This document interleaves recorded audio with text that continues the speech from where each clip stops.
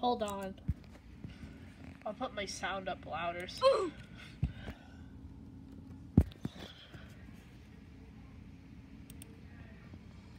Now, this won't hurt a bit.